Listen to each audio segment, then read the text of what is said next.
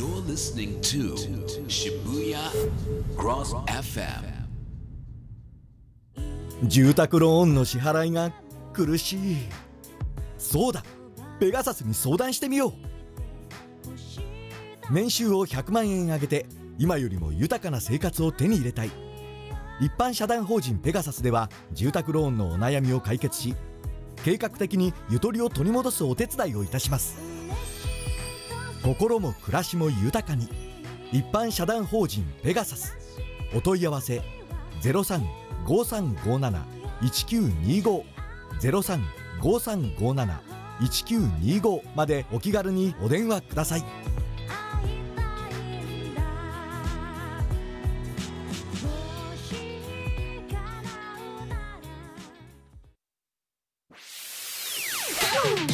サブカルチャーレディオ耳ラジ MC キャミが渋谷クロス FM から今日も3倍元気よくお届けしています。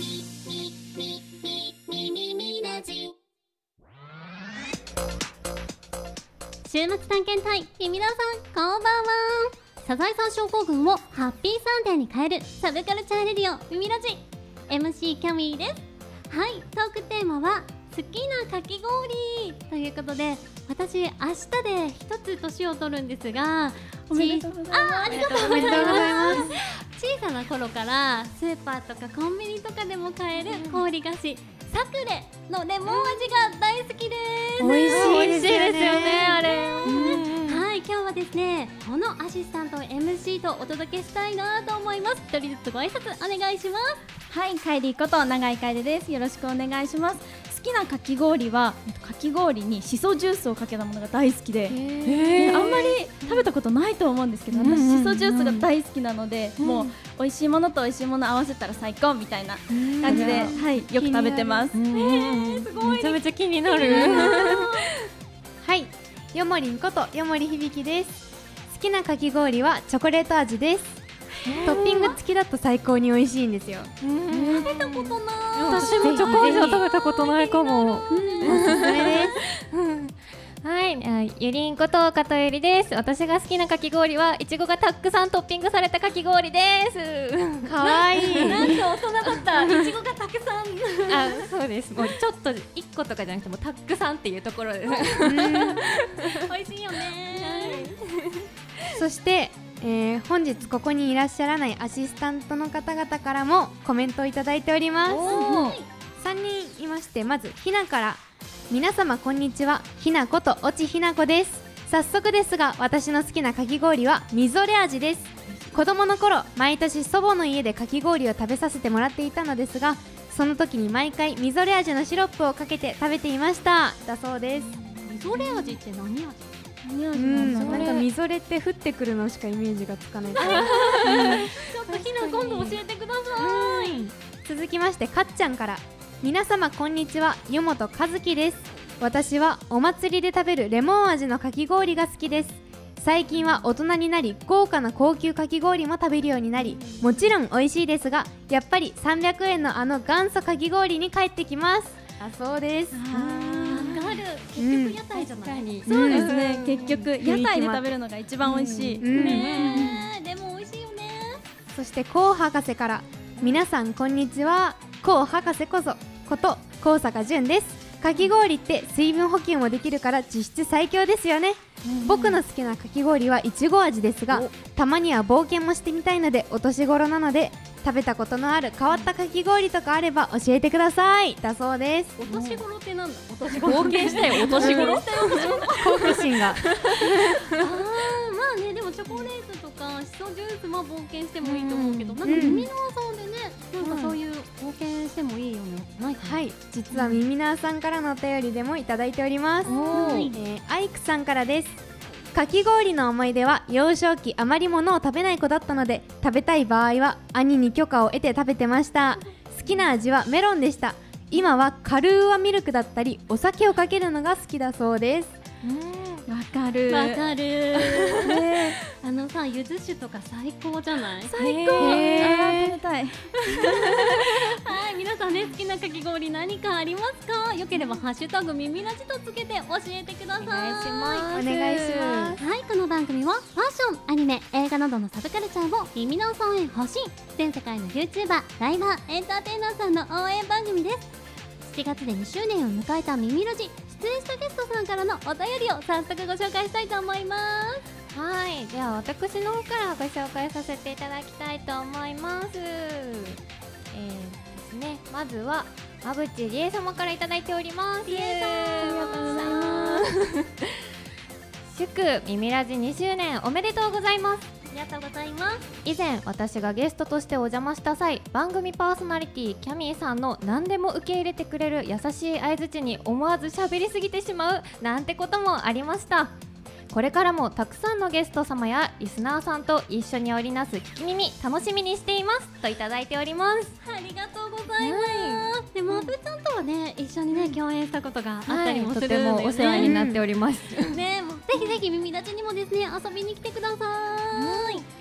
そしてお次はこの後放送のネクストラジオ渋谷ここだけ番組パーソナリティの親瓶様からもいただいておりますキャミーさん耳ラジ2周年誠におめでとうございます。親瓶が初めてゲスト出演したのが耳ラジで当時はもう緊張でいっぱいでしたがキャミーさんのおかげでなんとか会話していたのを覚えています。番組終了後のアドバイスのおかげでラジオ番組を持つという夢を叶えることができました。この先も3周年4周年と続いていく番組「耳ラジ」これからも素晴らしい放送を続けてください。とのことです。おやびんさん、ありがとうごありざいがとうございます。実はですね、今日学園に来たら、この花がですね、置いてあったんですよ。そうおなんです。よ誕生日、おめでとう、親瓶より。イケメンすぎませんか？そんなね、親瓶が、えっと、ラジオ番組この後6時からやりますので「耳ラジ渋谷ここだけ」ぜひぜひチェックしてみてください。はい続いて今日のスケジュールカイディからお願いします。はい。17時10分頃から猿耳コーナーサブカル調査部私カイディ担当いたします。と17時に10分頃からはエンターテイナーさんに聞き耳。ゲストに、えー、シワス・ジェイソンさんと、えー、三谷レミさん新ユニットのモンモンクラブの相方左のじゅんさんのお話を聞き耳していきます。三谷さんからメッセージいただいておりますので番組内で後ほどご紹介します。楽しみだね。ねすっごい楽しみなんですよはい。そしてですねエンディングには耳ラジなぞなぞがあります。それでは先週の耳ラジなぞなぞの答え合わせです。みんなで考えてみてね。ある夜怖がりの楓さんの家に泥棒が入ってきましたが読んでいた新聞を武器に見事に泥棒を追い払いました。いつもは怖がりなのにどうしてその時には勝てたのでしょうか？わかる？わかる？人いますね。本人だけど全然わからない。えこれヒントは、はい。新聞なんですよ。で夕方なんですよ。あよあ分かった人いるかな？ね。うんうん。そういうことか。分かっちゃった？じゃあちょっとヨモリ。ン、勇敢だったから。はい正解です。お便りでもねたくさんいただいてありがとうございます、はい。みんな正解してるかな？正解してる人いるかな？ねえ、ぜひぜひあの正解してたよってハッシュタグ耳ラジで教えてください、今日の謎のとエンディングにあるのでノートでしてくださいね。リアルタイムの感想や質問はハッシュタグ耳ラジとつけてつぶやいてね。ツイッターのトレンドはハッシュタグ耳ラジ狙っていきましょう。ハッシュタグ担当はキャミーとゆりんです。はい。この番組は一般社団法人ペガサス総合探偵シャトルエージェンシー横浜駅前ミスター元祖千葉駅前店シニア障害支援協会の提供でお送りします。はい。観覧の皆様熱中症対策して楽しんで聞き耳していきましょう。それではオープニングテーマはみんなの耳ラジ耳ハピネスチューターレンジバージョンでスタートです。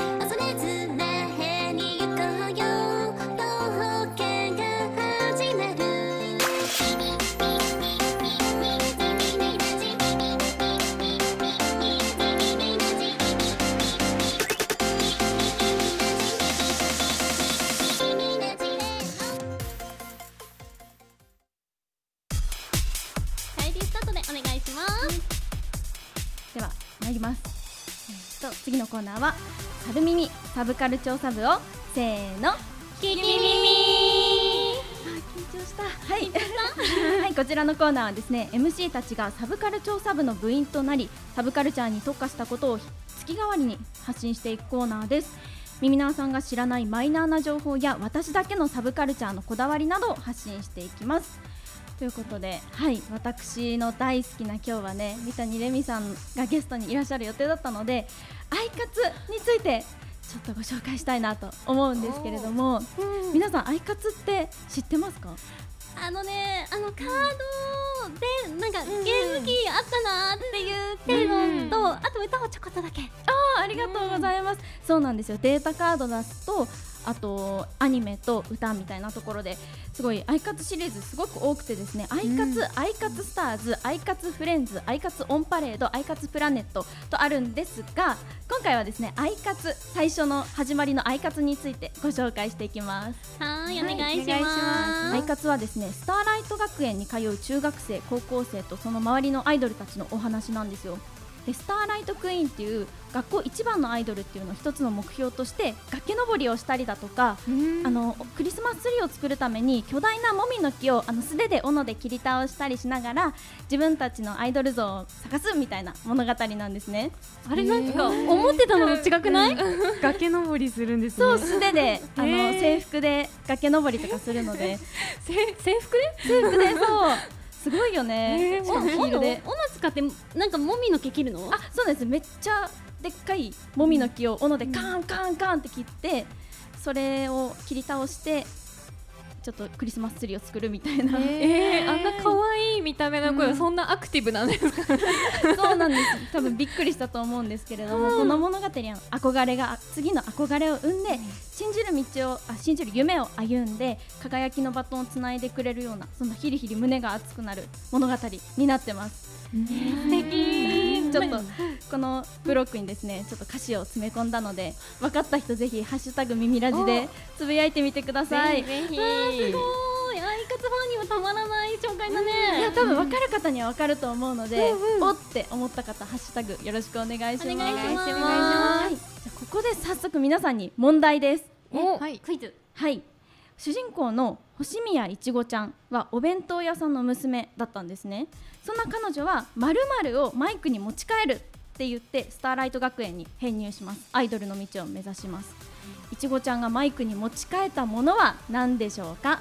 はい画像と一緒にね、あの用意してくれたとのことなので。よ。すごい一生懸命書いたんですこれ。これね、なんか5日間ぐらいかけて書いたの。頑張りました。い。ちごちゃん。はい、で、1番がお箸、2番がおしゃもじ、3番お弁当、これのどれかをマイクに持ち帰るんだって言ってアイドルになります。さあどれでしょうというところなんですけれども、よもりんどう思う？私はマイクに一番形が似てるおしゃもじにします。お、確かにねゆりんどうですか？いや私も持ちやすさで言ったらおしゃもじかなって思いました、持ちやすさね。うんあ、2番って言ってる二番って言ってますおしゃよねね多いですね。えでもさうんうんお弁当屋の娘なんだよ。そうそうですよ。そっか。で斧とか使ってもみの毛切ったり崖登りとかするから、なんかおしゃもじでも収まらないような気がするんだよね。なので何でも弁当っていうなんかマイク型の弁当箱みたいなのを用意してやるんじゃないかと私は睨んでいますが皆さんはどうですかね？そうですかなねるほどありがとうございます。じゃあ早速答えを発表していきます。正解は2番おしゃもじです。当たった方多いと思います。そうなんです。おしゃもじをマイクに持ち帰るって言って。アイドルを目指したんですけれども、その何でも弁当ってあのイラストに書いたと思うんですけれども、それがいちごちゃんのお家のあのお弁当屋さんのお名前なんですね。そうなんです。で何でも弁当の娘のいちごちゃんがおしゃもじをマイクに持ち替えたっていうところで、まあ、おしゃもじがもう神様的存在になっておりましてですね、あの こちら2019年の冬に開催されたオールアイカツミュージアムっっていうものでの展示で愛活神社っていうのがあったんですけれども、そこであのおしゃもじが祀られていたんですよ。へはい、ちょっと簡単にイラスト描いたんですけど、すごくない？イラスト。神棚に置かれてるみたいな感じ。神棚に置かれて、下にあの賽銭箱があってでちゃんと鳥居もあって愛活神社って書いてあったんですよ。もうそれくらい神様的存在のおしゃもじでございます。すごいねなんかもうアイカツ見てみたくなった、いやぜひ見てください。178話あるんですけど、あの一瞬で終わるので、一瞬？あもう展開が面白くてどんどん見ちゃうみたいな、はい、よろしくお願いします。で、あのアイドルといえばライブだと思うんですけれども。データカードダスのゲームでもアニメでもリアルでもライブっていうのはアイカツの中で欠かせないものになっています、でここからライブの魅力お伝えできればと思うんですけれどもアイカツって実はキャラクターとキャラクターの声をしている声優さんあとは歌唱担当さんの3人で1人のキャラクターなんですね。なのでリアルのライブではあのキャラクターの映像がバックスクリーンに映ってでステージでは歌唱担当の方がパフォーマンス披露されるんですよ。なので2人のダンスがもうリンクしているもう姿はもうエモくてエモくてしょうがないみたいな。ですよね。たまらない、しかもあの歌唱担当の方も実際のアイドルさんなのでそのステージがどんどんパワーアップしているのがあのアイカツの世界の人もこういう風に見てるんだろうなっていうのが分かってさらにさらにすごいエモいんですよ。なんか衣装のクオリティも可愛くってキュンキュンするかも。そうなんですよ。衣装もねアニメと同じような衣装だったりしてすごい素敵なんですけれども、あのアイカツの特別なステージでは声優さんも一緒に歌うことがあってもう本当に3人で1つのステージに出てるっていうのがもうたまんなくて私ペンライト振るどころでもなくて もうただただ泣き叫んでたみたいな。本もう感動しまくってね、当にもうやばくて何百回見ても本当泣いてうわーってやることしかできないんですよ。すごいカエディがどれだけアイカツが好きなのかっていうのがもう今ので伝わったよね、うん、嬉しい。ありがとうございます。本当アイカツの中でもねあのいろんなスターズとかフレンズとかオンパレードプラネットといろいろあるので絶対好きなアイカツアイドルが見つかると思うので皆さんもぜひアイカツ見ていただければなと思います。アイカツを見ておけば幸せになれます。アイカツを見ておけば幸せになれるということでね、カエディ今日は素敵なコーナーありがとうございました。ありがとうございます。ありがとうございましたはいこの後はエンターテイナーに聞き耳コーナーです。三谷ルミさんのプロデュース闇の目メンバーのシバス・ジェイソンさんがスタジオに登場してくれます。ワクワクしますね。ね楽しみです。はいそれではここでみんなの耳ラジお聞きください。どうぞ。耳ラジ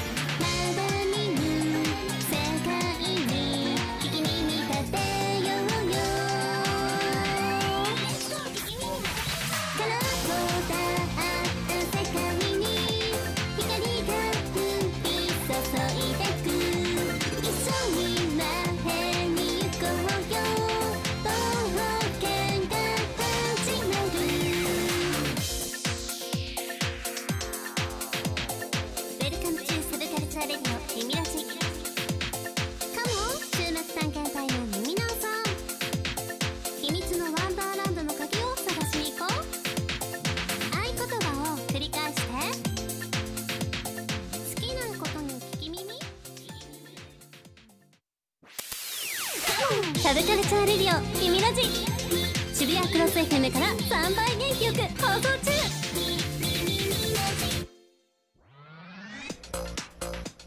エンターテイナーに聞き耳。はいそれでは本日のミミィさんをご紹介します。こんばんは。こんばんは。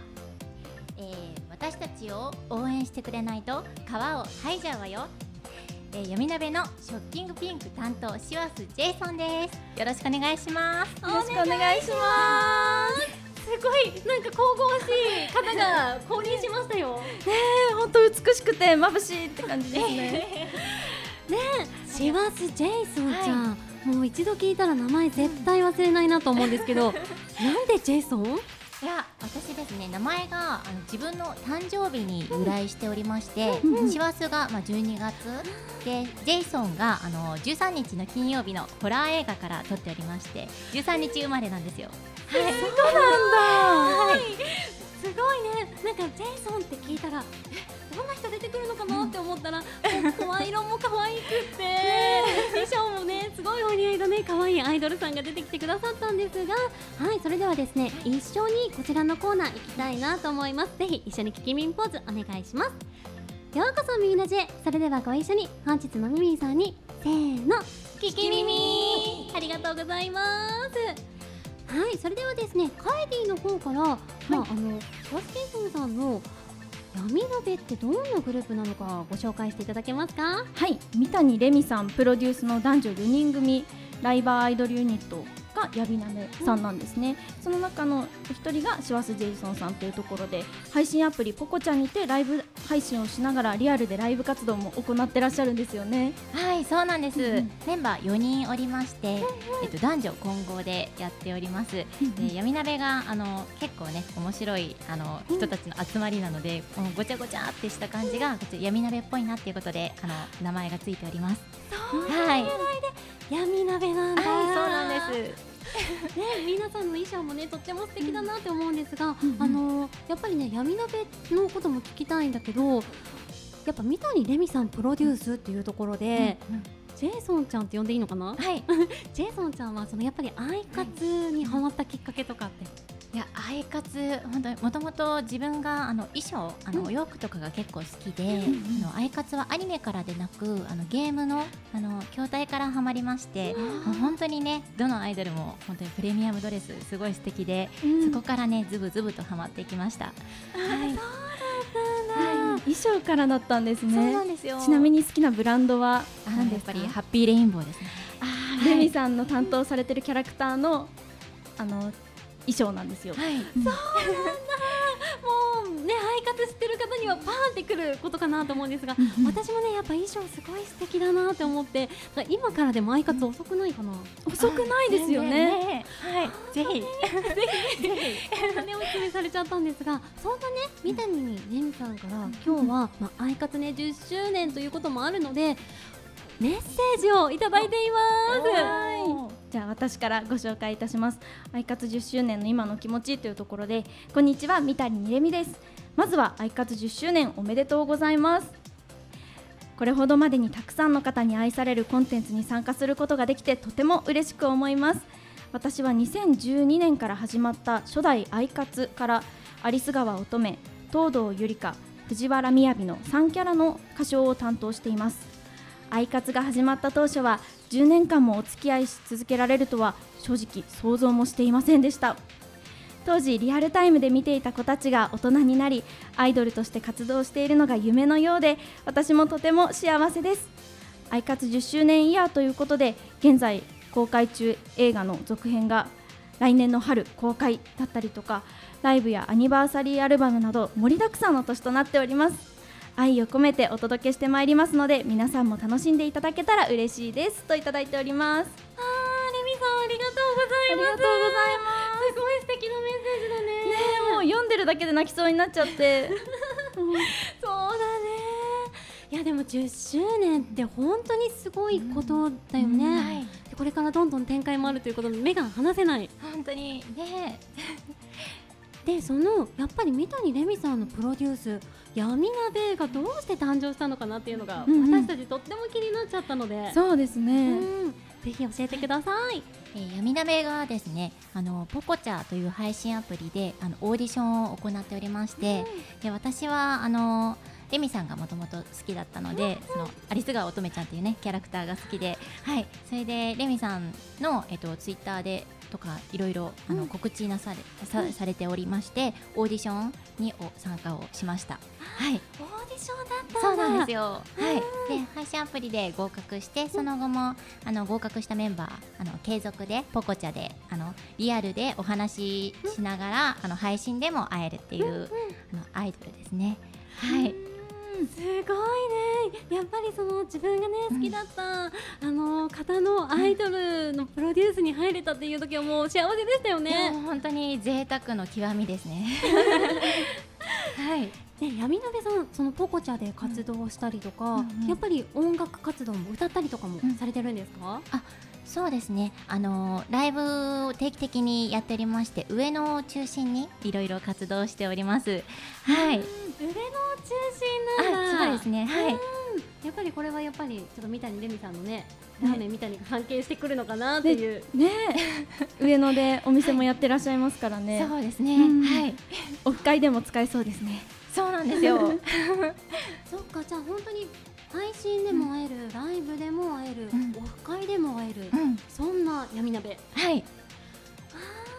え他にねどんなメンバーがいるんですか、えっと4人グループになっておりまして、うんうんえーいろはにほっていうウルトラオレンジ担当いろはにほですね。でこの子は元気っ子で努力家のいい子です。はい。えー続きまして星空ゆめくんって言って、えーライトダークネス担当、えー、と白と黒担当なんですけど、はい。えー多重債務者で、まあ、アイカツのすごいオタク、まあ、なんですけどすごいいい子ですね。はい。ここのだけでもちょっと闇深いなそうなんだよね。はい、で、えー続きまして、えー、市川双葉ちゃんで、この子が、えっ、と、コンペイトブルー担当ということで、えっと、妹キャラですね。すごい癒しで、あの、本当に可愛いんですよ。あの、いるだけでもう本当に空気が和むというか。はい。わあなんかメンバーがいろいろね、はい。そうですねメンバーカラーもなんかただのブルーとかじゃなくってそうなんですよ。いろいろみんな ついております。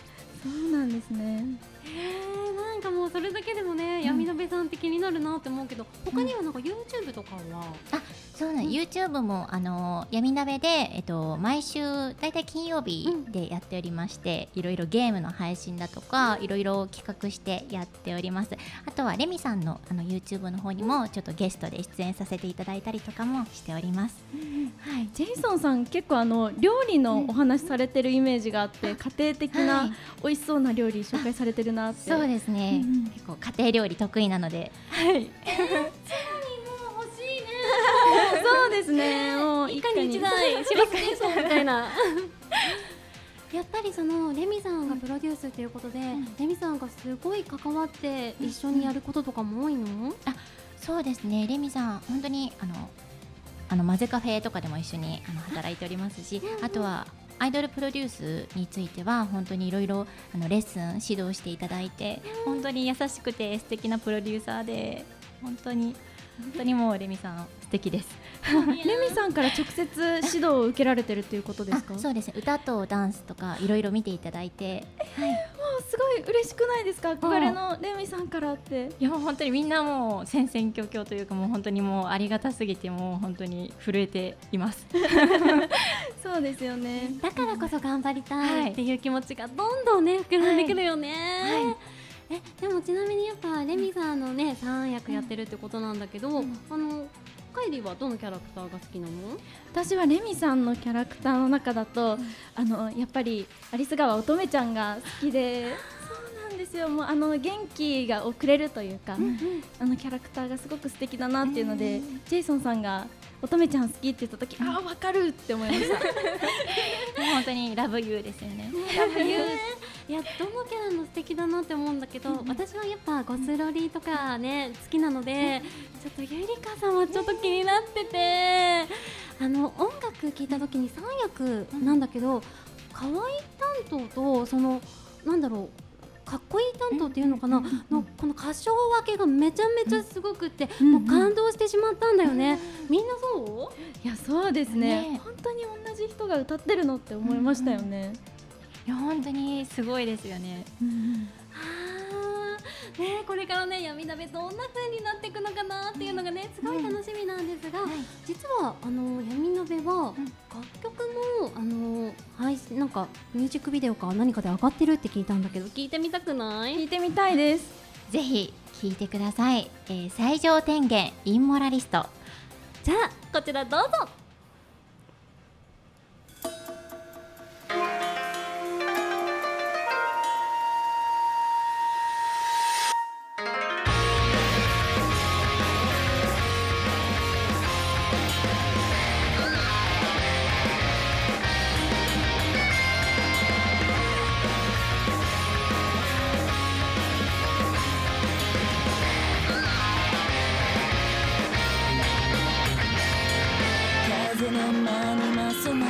まる薄紅の羽入れてきしむさずにもらり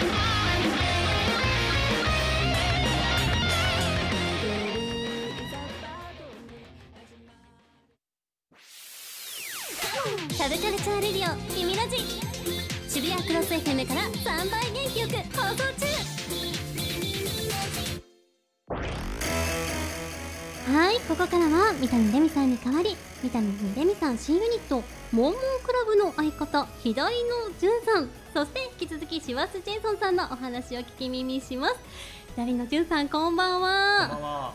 今日はよろしくお願いします、はい、よろしくお願いします。全部カタカナなんですねそうなんですよ。ちょっとね、読みづらくて申し訳ないんですけど。すごいねお名前だなって思うんですが ね今日は三谷レミさんの代打という形ではい。なんか新ユニットが結成さそうれるなんですよ。ちょっとゆ新ユニットモンモンクラブ結成と。すごいこの話ラジオで聞けるって。ね嬉しいですね。なんか私たちもファンも全容知らないのでそうですね。ぜひぜひ引き出したいなと思ってます 引き出したいなって思ってる、はい。ね、でもねそれにはですねこの後ねちょっとあの耳ラジバーというところでカードを引いていただかないと皆さんがお話したいことが話せるかわからない、ね、そんな時間になっています。はいとということでねよろしくお願いします、はいよろしくお願いします。ねハッシュタグもたくさんありがとうございますね今お聞きいただいた最上天元インモラリストどうでした？いやーめちゃめちゃかっこいいですしあのそのアイドルの方のお名前入ってたりするので、うおーエモいって思って聞いてます。ありがとうございます。チェックがやばい。すごい。もうすごいオタク。ただのオタクなんですよ私。本当に。すごい好きだね。好きでありがとうございます。ねえハッシュタグでもですねレイキさんやり鍋ライブ映像とロック融合な音ですって来てますね。ありがとうございます。これデビュー曲なんですよ。はい。デビュー曲なんんです。もう、はい。仕上がってるよねデビュー曲が。本当ですか本当に。うんえじゅんさんこれ聞いた時どう思いました？いやなんかやっぱ闇鍋にやっぱ合ってるなってやっぱロック調で、確かうん、に、かっこいいなって思いますね。ねはいあのー CD とかも販売されてないんですか？CD は手売りで販売をしております。はい。ライブとかあとはラメみたにで私が手売りしております。じゃあライブかラーメンみたいに行けば そうですね。買える、はい。ねハマった方はぜひぜひね上野の方チェックしてもらいたいなって思います。カイリーはこの楽曲で聞きたいこととか気になることそうですね。やっぱりデビュー曲っていうところだったのであのーちょっと大変だったのとか、これめちゃめちゃ良かったなっていうポイントみたいなところを教えていただきたいです。えーまずですねもうみんな闇鍋のメンバーがみんな社会人だったんですよ普通の、なので本当にみんなダンスも歌も初めてで、なので本当にそこからもうレミさんにご指導いただいてあのなんとかレコーディングも初めてで、もうみんなもう緊張で震え上がりながらあの収録をしました。あの録音をしました、はい。すごいですね、はい。皆さんゼロからのスタート本当に全くのゼロからすごいそうとは思えないですよねどんだけすごい指導だったんだっていうさんの、ね熱がすごい感じますよね。いやーちょっとこれからのね闇鍋すごいね目が離せないなと思います。ぜひぜひハッシュタグミラジでまだまだ感想の方お待ちしております。それでは続いてのコーナー参ります。みんなで聞き耳お願いします。バー地獄耳でせーの聞き耳ありがとうございます。はいこのコーナーはですね普段は聞けないような話をバーに来た感覚でおしゃべりするコーナーです。お酒カードを注文後カードのお題に沿ってトークを開始。ここでの情報は公開生放送のため聞き耳してくれてる皆さんにより後世に語り継がれますのでご了承ください。という感じで。はい早速なんですが喉乾きませんか？乾きましたね。ね。ちょっとねいろいろご用意してあるんですよ。ビールおハイボールワインウイスキー焼酎日本酒ノンアルコールとねいろいろご用意してますのでまあね一杯いきましょうか。いいですか？はいどうします？じゃあやっぱ暑いので、うん。ビール。ビール。ビールで。はい。ジェイソンちゃんも。ビールいいですね。やっぱあれですかね。ビールといえばラーメンにも合いますしね、そうですよね。じゃあこちらですがじゃじゃんお話ししたいことというカードです。じゃあせっかくじゅんさん来られたので、お話ししたいこと教えてください。じゃあちょっとあの僕そのモンモンクラブの他に、うん。その昼はその混ぜカフェラーメンみたいにであの働いてまして、でまあ最近ちょっと再オープンという形で、はいやってでそれですね。それにあたってちょっとあの夜メニュー、うんそのやっぱさお酒にちなんでおつまみとかが増えたのでなんかやっぱお客さんめっちゃ来てほしいなーなんて。混ぜカフェラーメンみたいについてちょっと帰りの方から。あいいんですか話して、ねえ。いやもう大好きでオープン当初から。で先日も行かせていただきましてジェイソンさんとお話ししたんですけどありがとうござい実は。ま すそうなんです。本当にあのせんべろセットっていうのが新しくできたんですよはい。ね、ロそう1000円で瓶ビール1本かサワー系が2杯、プラスおつまみ3種類なんですよね。詳し い。もう今すぐ行きたい。今すぐ飲みに行きたい。あじゃあ軽くフラーって夜行けちゃう。もう来てください。もうぜひぜひかねもう行っちゃうよね。いや本当フラッと行って気づいたら酔っ払って帰ってるみたいな。ねえラーメンみたいにってなんでラーメンみたいになんだろ三谷はみねレミさんが、ね。オープンされたお店ということで、三谷レミさんのね名字から取っておりますね。で黄色が貴重で本当に明るい店内で女性もね気軽に入れる、お花とかもあのね結構壁におしゃれに貼り付けてあったりとかして、ね。そうですね。可愛いのでぜひぜあひじゃあインスタ映えというか行って、なんかラーメンの写真とそのちょっと店内の写真とか撮るのもいいかもしれない。いいと思いますね。私もよくインスタに写真を撮ってあげさせていただいておりまして。ありがとうございます。実はですねお便りが来てまして、はい。えっと耳のネームりょうまさんありがとうございます。はじめまして初めてお便りを送らせていただきます。当時レミさんが歌唱担当されていた永遠の明かり？ともしび。か。ともしびをえっ、とともしびを聞いて本格的にハマったアイカツファンです。明日レミさんのお店マゼカフェに初めて行く予定ですお待ちしておりまねす、、ジェイソンさんのおすすめのメニューなどありましたらお聞かせください。映画アイカツの半券持ってステッカーえー、とステッカー買いに行きますって書いてあるんですけど そうなんです教よえてください。えー映画のアイカツ今映画をやっておりまして、映画の半券をお持ちいただきますとラーメン三谷のあのステッカーがもらえます。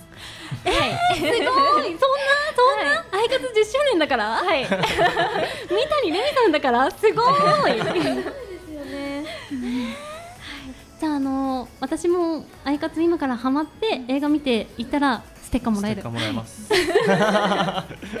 えちなみにねおすすめのメニューはって言われてるんですけど何かありますか？やっぱそうですね。あのうちのお店でしか味わえないポテチスペシャルクリームベースの混ぜそばで、もうめちゃめちゃ中毒性高いので、これぜひ食べてほしいなっていう。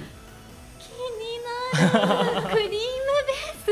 はいどんなのなんだろう？カルボナーラに近いあもうそうですね。もうまさにカルボナーラに近いっては言われるんですけど、でもなんかきっと新感覚であ普通食べたものとは違いますよいねやもう初めて多分どぎも抜かれるんじゃないかなって、よく食べる？あよくいただきます。ポテチスペシャルと醤油か塩かどっちか選んで2杯いただいてえー。書いてあります。すごい。なんかねポテチスペシャルの画像があるとのことなのであーひいしい。そう。これ私のツイッターに 載ってたやつですね。それとそれです。ぜひぜひフォローしてください。ラーメンみたいにでねフォローありがとうございます。わー具たくさんじゃない？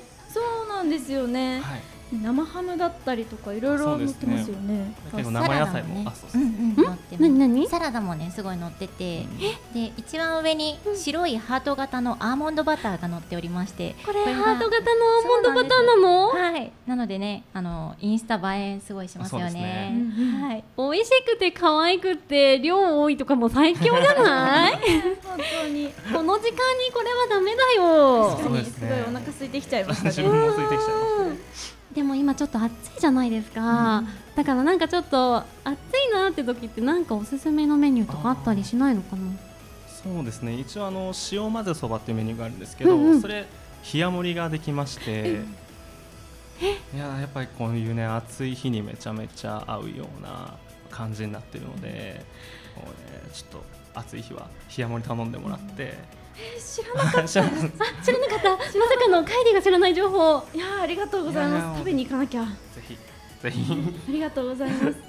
ねえ。いやちょっと皆さんラーメンみたいに気になった方ねツイッターとかもねありますのでぜひぜひチェックしてみてください。それではね続いてのお題に行きたいなと思いますがえー、とワイン、焼酎、日本酒、ノンアルコールとあるんですが、まあ、何飲みたい気分とか皆さんありますか？ワインですかね。ワイン。ちなみにラーメンみたいにワインは？あります。あー、はい。最高。私ワイン大好きなんですよ。いかねば。はいワインはですね。お。お。告知。告知。なんか告知とかあったりしますか？はい。はい。えー告知させていただきたいと思います。うんうん。えー今月7月の31日、うん。日曜日に、えー闇川フェスというね、あのーライブフェスが、えー開催されます。わーわー。おめでとうございまえーこちら、えー、とレミさん主催ということですごいあの盛り上がる予定でございます。そして私の,、あの所属する闇鍋はもちろんねあの左のんさんのね、あはい。モンモンクラブもあの出ますのでよかったら モンモンクラブ何やるんですか？あでもそうですね僕が作った曲にあのレミさんが歌詞を載せてくれてっていう形なので、まあなんかそうですね多分最高のステージになると思うので。しかもその日が初めてそうなんですよ。お披露目。はい。楽しみ。子さん名乗れるので、ね、ぜひ来てもらって。ね来週ですね。そうですね来週です。はい。皆さんぜひぜひですねそちらの方はえっ、とあれですかね柴田ジェイソンちゃんとか左野潤さんとか三谷レミさんのツイッターとかで情報公開中って感じですかね。あはいそうです。皆さんぜひぜひ闇川フェスチェックしてみてください。ということでね今日は本当に素敵なお話ありがとうございました。ありがとうございますはいこの後はエンディングですそれでは1曲メルヘンパレードお聴きください。どうぞ。